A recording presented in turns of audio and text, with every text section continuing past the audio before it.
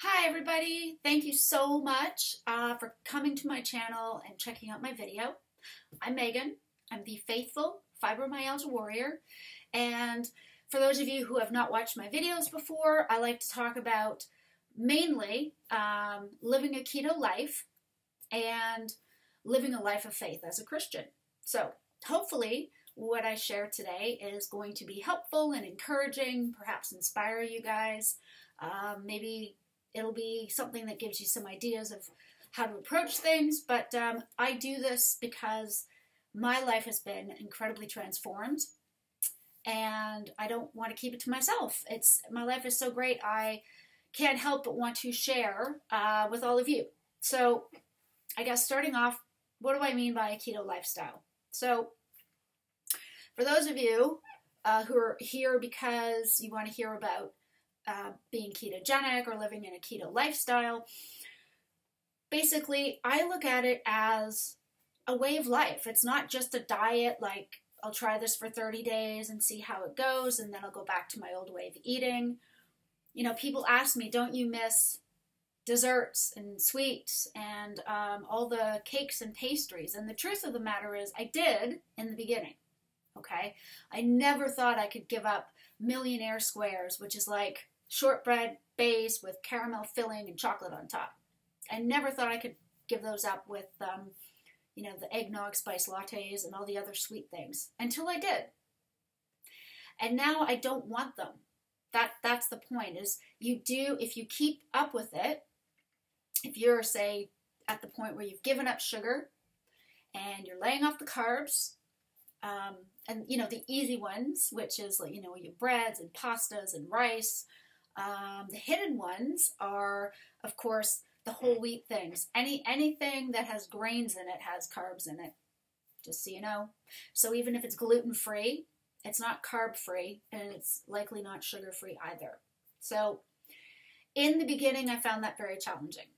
Okay, to let go of my sweet tooth because that was my go-to whenever I was feeling anxious or out of control was to turn to something sweet comfort food and a, and a great big coffee uh, filled with whipped cream and everything else. And of course, it was horrible for me, you know. And I figured once a week, or if I'm in, under stress, which I felt all the time, because when I started trying to go keto was back in um, May of 2020 when we were coming out of the first wave of COVID.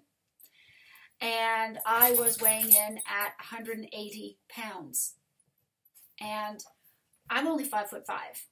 Okay, and because of my fibromyalgia, because of my back injury, my arthritis, I don't work out. I can't go to the gym or things like that. So the whole move more, eat less wouldn't apply to me. At least the move more part. Um, I was bulimic for uh, a good 30 odd years. And so I know about restrictive eating and purging and binging. And um, that didn't work either. In fact, it screwed up my metabolism. And then finding out I had an underactive thyroid, hypothyroidism, that I was put on medication for, um, didn't help matters. So my body was basically fighting against itself.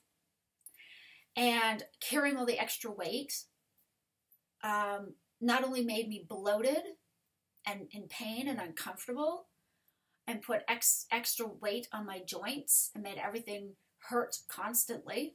Um, I felt like I lived in this permanent fog. I would like to think I'm a fairly intelligent person, but I tell you what, I had a hard time just remembering what I ate in the mornings for breakfast that same day.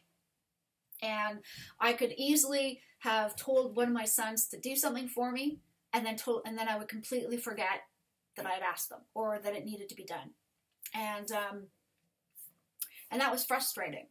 You know, my husband would say, "Hey, make sure you call this person or get that sorted." I'd be like, "Yeah, sure, I'll do it," and then I would forget. Oh, you might you might see our our spaniel Bertie pop up here and there. He likes to uh, likes to photo bomb um, or like video bomb. Uh, so if you see little splotches of kind of beige and off white, that's that's Bertie in the background. Um, so my sister in law um, had Hashimoto's and she did not want to be put on any medication. She found a paleo approach to food, which helped her. Uh, she does not have any food intolerances or, or sensitivities like I do.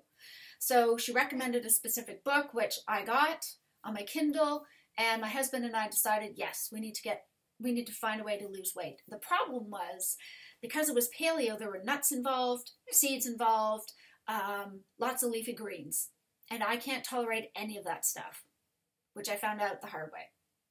Um, so it wasn't working for me. It was making me feel worse. And I just thought to myself, I'm going to find something. How do I lose weight without having to do massive exercise? Right? Because I thought it's not possible.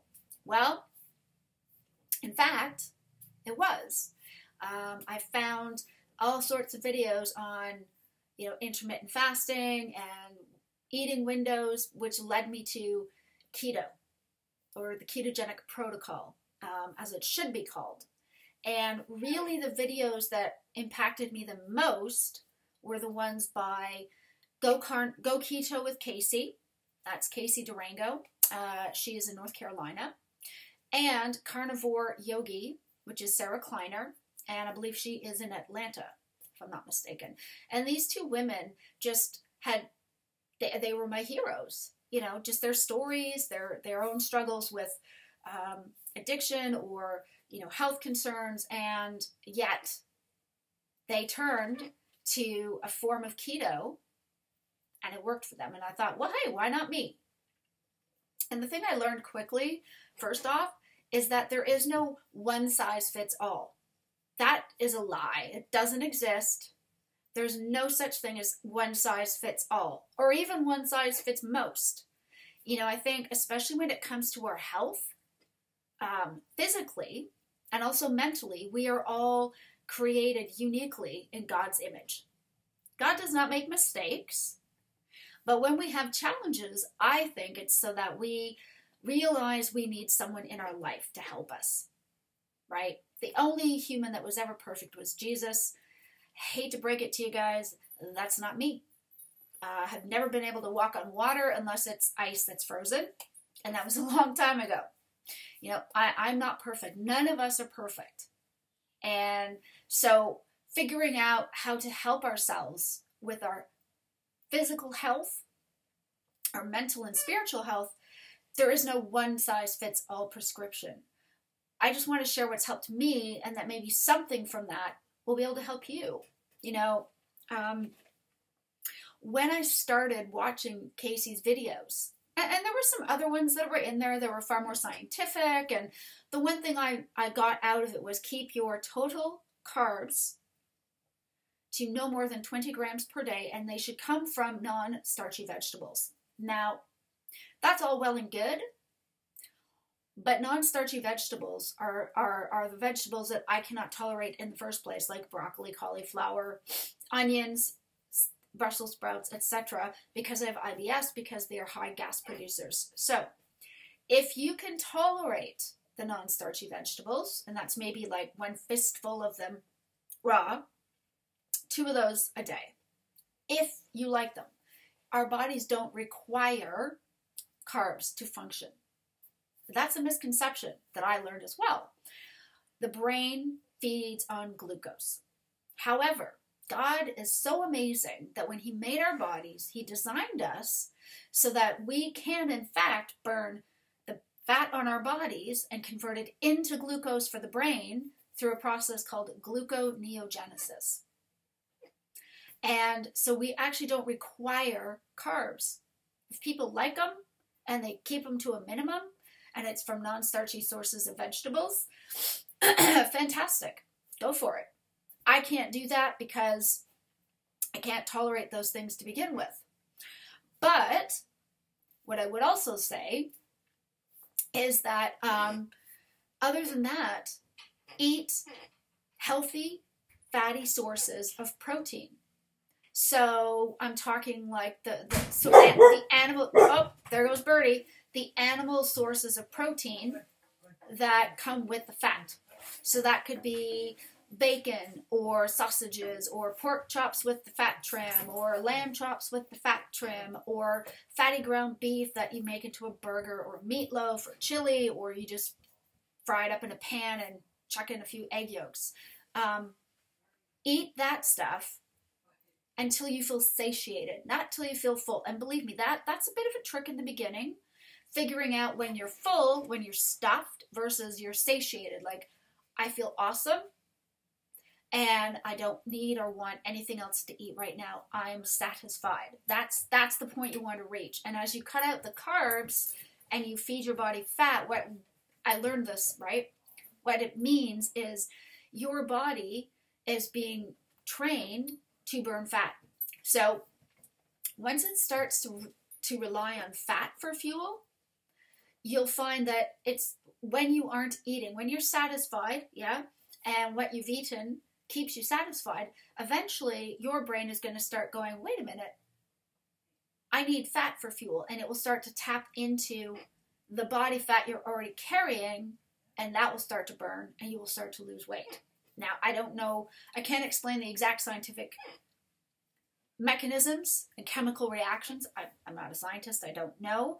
Um, but I know that uh, Carnivore Yogi has had a number of really, really, really great certified, medically, like board certified doctors and specialists on her different um, on her different uh, YouTube posts and webcams and podcasts. So definitely check out her channel if you want something a lot more scientific-y. Scientific-y, that's my word for the day. So as I started to lose weight and I started to feel healthy, I couldn't believe, I, I still have a hard time believing that I've lost all this weight. Okay, I'm down to like one, one, 115 pounds. I think I've lost like 65 pounds or whatever it is, you know, which is a lot. Um, and I've kept it off. And as your body, as you have less body weight, you don't need as much energy to fuel the body that you're left with. Therefore, you aren't as hungry. Therefore, you don't have to eat as much. And that's how you maintain your new healthy weight. But it was more than just feeling excited about I get to buy cute clothes for the first time in my life and feel comfortable in them. I get to wear something that's cute that I couldn't do even as a teenager. And I felt my skin getting healthier, my nails getting healthier, my hair getting healthier by cutting out all the crap in my diet. And the brain fog started to lift and some of the pain started to ease off. Now, I still have arthritis. I still deal with chronic back pain. And I'm not going to be building stuff in my backyard. I'm not going to be lifting weights at the gym anytime soon because I can't. However, I have more energy. You know, some of the things I'm also doing, which are things that uh, Carnivore Yogi, Sarah Kleiner, talks about in a lot of her posts and her videos, is making sure that I have a circadian rhythm that is healthy, which means I get up in the morning, I look out at, um, I don't always see the sun rise, but when the day starts, I get out, I look up at the sky, I just stand there in the moment. Um, I enjoy the peace and the surroundings of. Oh, there's Birdie again. Of I've got you know God is around me, and I just stop and pause. And I oh here he is. Hello, Birdie, with his ball, and um, I just listen to the bird chatter and the wind blowing. And I often take off my slippers and I'll just stand on the grass in my bare feet and just ground myself because there's like electrons in the soil and they connect through your body that way. It just, ah, there's a whole bunch of videos on it, but it, it helps with overall physical energy. Um, and it works. It really works. It, it sends signals through the eye to the body that, hey, it's time to wake up now. And I'm up. And one of the things I started to do was within a couple of hours of waking up, I try to make sure that I eat my my um, my breakfast, which is fatty ground beef with a bit of salt, egg yolk, and streaky bacon. I try to eat that within the first couple of hours because it signals the body, hey, start processing this. She needs energy because it's daytime. You know, I make sure that I'm eating dinner as much as possible. I eat dinner before it gets dark, uh, before it's too late in the day, because the body expends energy digesting and processing food. So if you're eating at nine o'clock at night, instead of getting that restful sleep a couple of hours later, your body is still probably digesting and processing the food you ate late at night. That's probably a big reason why they say you should never eat late at night or after a certain period after a certain time. And I get why, you know. But for me, it's just because by the time it's 10, you know, I've, I've actually got these uh, clip-on blue light blocking um, lenses that go over my glasses. So it doesn't affect, because these are bifocals, if you will. Not that you can tell, but they are. Um, they're, they're varifocals. And so these little clip-ons go over my lenses and that way when I'm reading my Kindle at night, I'm blocking out the blue light, I'm blocking out the blue light from our laptop or from my phone. And I find it makes a huge difference. So even if I'm doing that, I still get a good night's sleep because I can't hold a regular book for a long period of time. It, it, it hurts my wrists and my arms too much. So I have a, a special triangle shaped pillow that my Kindle goes on and it stacks up on a few pillows on my lap. And I just have to swipe the pages to turn. So for me, if I'm settling myself and I want to read at night, it does have to be my Kindle, but I will often put on my blue light blockers. Um, and that's something I've learned from uh, from Carnivore Yogi. And again, she's got all kinds of videos about this stuff. Definitely check her out. But that's what worked for me. That doesn't mean it's something that might will work for you. I think it probably is worth trying. You know, she's got a whole red light therapy system going. I don't have that because I don't have the money for it. It's too expensive, but I get out every single day and I try to be outside every day for at least an hour. You know, as I'm taking my electric chair through town, even when it's overcast, I can feel, you know, the red light from the sun that's healing and therapeutic is always coming down on us. Vitamin D and all that. It may not be as strong, obviously, because it's not full summer yet, but I feel energized when I get outdoors. So get outdoors as much as you can, even if it's cloudy. The red light's still coming through, and um, it's it's good for you. But what it made me realize as well, coming back to May of 2020, so by August of 2020, I had lost about 40 pounds. I was feeling quite good. And my whole thought at the time was, I feel so good, I just want to keep eating like this because why wouldn't I? And whether I lose any more weight or not, whatever. I was I was at um, 140 pounds, and it was on the edge of what was considered healthy. But you know, given that I can't exercise and my um, my other medical issues, that was a weight that my GP was would have been happy with. I just figured, ah, I'm just gonna keep eating the way I'm eating because I feel better. I feel like my body has been cleansed. And as it turned out, I ended up losing another, what, um, 25 pounds just by eating healthy without any effort, just lots of, you know, kept my water going. Now, I have to tell you that because I have IBS and I have a leaky gut and I have food sensitivities, I do take digestive enzymes after I eat. They have um, peppermint oil in them and that helps keep the IBS symptoms under control. And I take um, um, beef liver supplements, unfatted. Um, I'm trying those. I take those up to three times a day um, with with if I'm eating right with my meals. Usually it's twice a day because I usually only eat twice a day because I'm usually only hungry twice a day. But that's just what I do. You don't have to do that. Okay, I have um, issues, like I said, leaky gut and all that. So this is why I'm taking these supplements. I lost weight without them. This is for me, this is to help me with maintaining and also just getting in those extra vitamins that I want to make sure I'm not missing out on. Um, and last time I tried to have liver, I gave myself food poisoning. So supplement is the way to go for me. Okay. But that's what that worked for me. That may not work for you. It might be worth a try though. You know, um, as far as the beef liver, it, it's give it a try. You know, you may find that it helps you have more energy and it's it just it's a good boost of vitamins and nutrients um, for those who want to get in organ meat and cannot stand the thought of eating it never mind preparing it okay it's i figure it's a good solution um, and as i say it's been really helping with um, um, my uh, the health of my hair and my nails um, yeah so and my skin's improving uh, getting smoother as well. So, all good things. Um, I find now I say that keto, right? Because carnivore is is just a subset of the ketogenic protocol.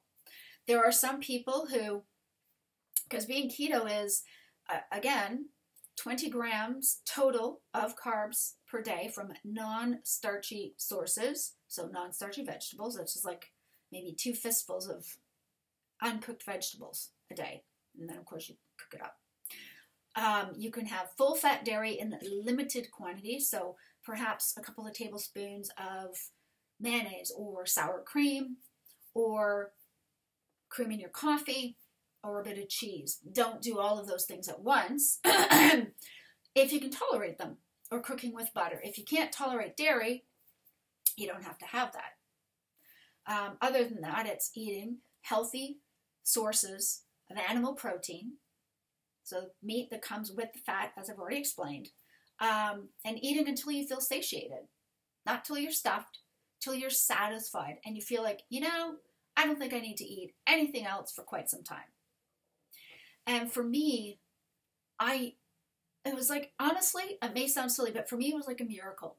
Because I never thought I'd ever be able to lose the, first of all, the weight that was creeping up on me with my thyroid not working properly, with fibromyalgia and brain fog and chronic pain and arthritis and everything else.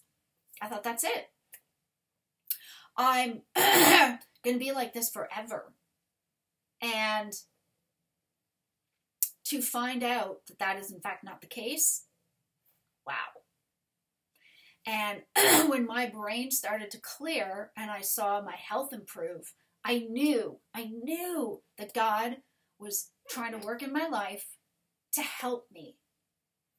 I, I don't ask for my physical illnesses or mental health concerns or any of that to be taken away. Why? Because I believe that God wants to do something great with me through those things so I can maybe help other people who are also struggling, you know, with trying to recover from eating disorders, with anxiety, with depression, um, with chronic illness and pain.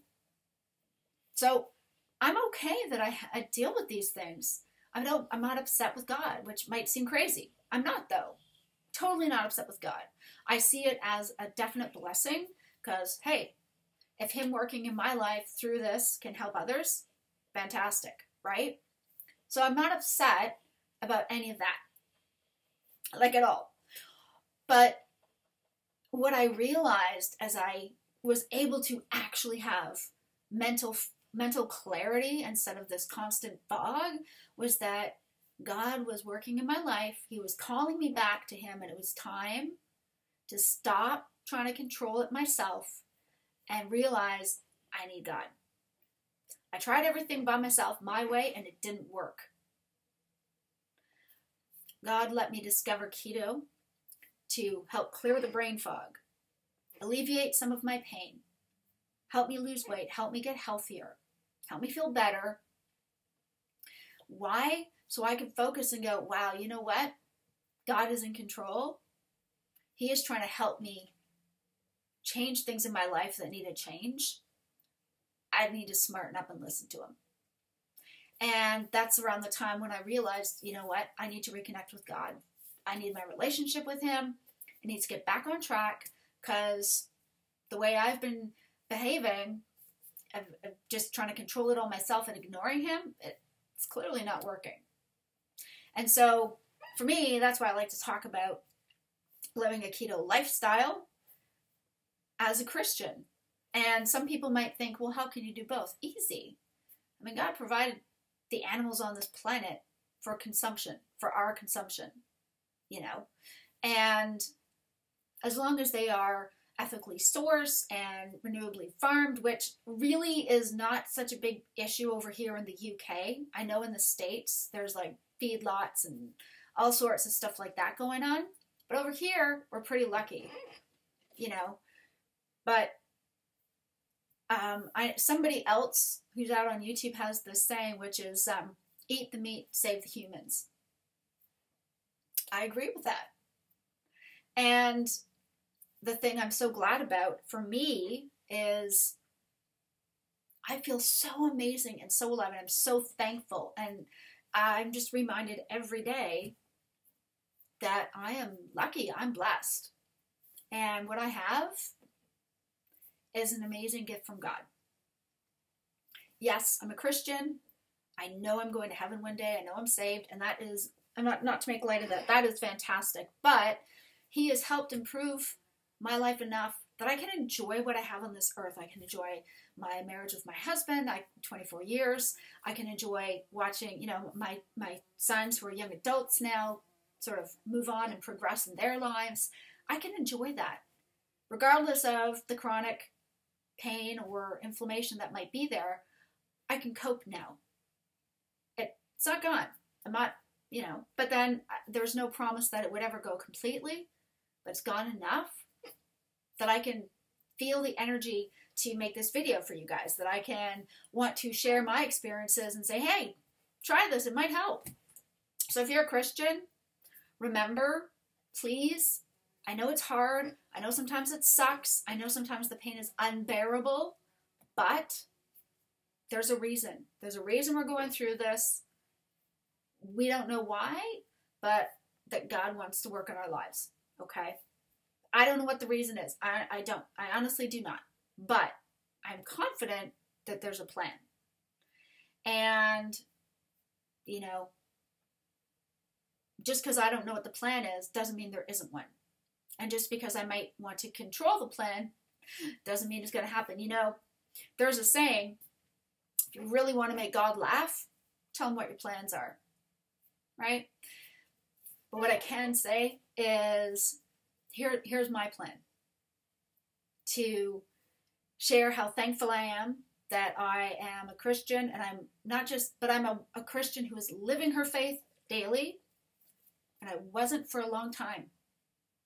It's not enough to just believe, right? So here I am, a Christian trying to live out her faith, full of joy, full of gratitude, um, thankful for everything in my life, both the challenges and the victories. Because without both, you know, if all I had was was was an easy life without challenge, well then I, I wouldn't have anything really to be thankful for, would I? But I do. And honestly, the keto life has helped me with that. And you know, some people might laugh, but honestly, I know that God led me to find the videos by Carnivore Yogi and Go Keto with Casey. It was not a coincidence. I don't believe in coincidence. I found those videos after going through lots and lots of other ones that were out there. I found these two women on YouTube who have inspired me, who have helped me keep things simple. You know, for me, I am on the carnivore side of the ketogenic protocol, is that I avoid all carbs. I just I don't eat them, or I eat minimal of them, um, and I feel amazing. I feel great. I'm, I do not feel like I'm missing out on anything.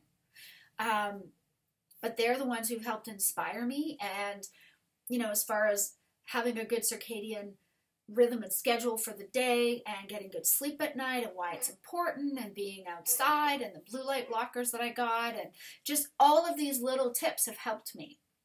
And what they've done is they've given me a sleep cycle that's really good and really deep. I wake up refreshed. I have energy. My pain is manageable. My brain fog is almost non existent. Not completely, but it's far, far, far, far less than what, I, what it ever was. And all of these things, God is having a hand in. And so, yeah, I just, I, I want to share with other people how great it is to be a to be a Christian living a keto lifestyle. I know people who are Christians who um, struggle with a lot of health conditions because they have still got such a huge, vast amount of carb uh, intake, and it's processed stuff, and they don't realize how bad it is for them, or they don't want to believe it. Um, but it's true, you know, it's out there. Seeds and grains and cereals, they were essentially were grown to feed livestock. They were never originally intended for us to eat. And yet we eat them and consider them healthy. Lies from the grain industry, really. But you'll have to research that for yourself. But um, so yeah, it's I, I tell you what I eat every day because it's what I love. It's what my body craves. You know, sometimes we'll have shawarma or we'll go out for a burger and obviously not eat the bun, um, or meatloaf or steak if it's a fancy night out. But for the most part, it's fatty, fatty, fatty ground beef with some strips of extra crispy bacon that I crumble up. But when I cook the meat, I add in one or two egg yolks, a bit of salt, fry it in the pan, sprinkle it with bacon, and done. That's what I eat. And by the way, when you're frying beef on a frying pan, scoop everything onto your plate, including the rendered, like the beef fat, because that's, you know, we're going to help you be satiated. So eat that as well. You know, you got to eat all of it. Because if you're not if you're if you're separating out the fat um, you then you're missing the point right? So yeah. Anyways that's what i eat regularly. And i feel fantastic and it's given me the clarity to pray to god and meditate on how amazing he is and how great his works are and how he's using all of us as a group to help each other. Anyways, I'm rambling now, you guys. I'm just, I'm so filled with thankfulness and gratitude. Um, I had to share. I had to share. But again, there is no such thing as one size fits all. However, you want to express your faith, that's what works for you. And that's fantastic. Do it. Go for it. Um, you know, Christian or not however, whatever kind of faith you have, go for it. You know, that's that's great. You know, I, am not sorry. I'm not trying to sound condescending in any way. I, I honestly mean it. Whatever helps you calm your mind and get to a a place of of peace because that will help with reducing anxiety that will help with reducing any sorts of depression it doesn't mean it will fix it fully okay if you need to take medication for it, that's okay. I do. And I'm not ashamed to say it. If we need extra help, so be it. You know, God created the doctors who invented the antidepressants for a reason. You know, if we need them, that's okay. That helps us, no problem. Um, if you're on the medications and you want to come off them, please don't just suddenly quit taking them. Please work with your health practitioner um, because it could be really bad if you just suddenly stop taking your prescriptions and your medications. Withdrawals can be really, really bad. So please don't do that. But you may be at a place where you feel so light and clear minded and positive that you may be able to reduce or even stop taking antidepressants. Lots, lots of people who have been um, who have who have stayed on the ketogenic protocol have been able to do that. So that might help. But please, please, please, please talk to your GP, nurse practitioner, whoever it is. Don't just suddenly stop taking your medications. Okay, you may have to ease off slowly. But that's that's what I wanted to share is I hope some of this is encouraging. I hope some of this is helpful. I hope you'll see that, you know what, if I could follow this and find so much improvement in my health, spiritually and physically, then hopefully it'll help you too. Um, I really am so glad to have all of you who have joined. Um, thank you so much. If you haven't subscribed yet, it would be great if you did. Let's let's support each other. Let's be a community, okay? Um, Thank you so much, guys. I appreciate all your help uh, as far as your encouragement, your your feedback, your comments. It's always always appreciated. Uh, any questions, any thoughts, let me know, and I will definitely try to get back to you as quickly as possible. Other than that, guys, um, I'm using my hands a lot today. Sorry. Otherwise, um, I will see you guys in the next video. I hope you have a great day. Bye for now.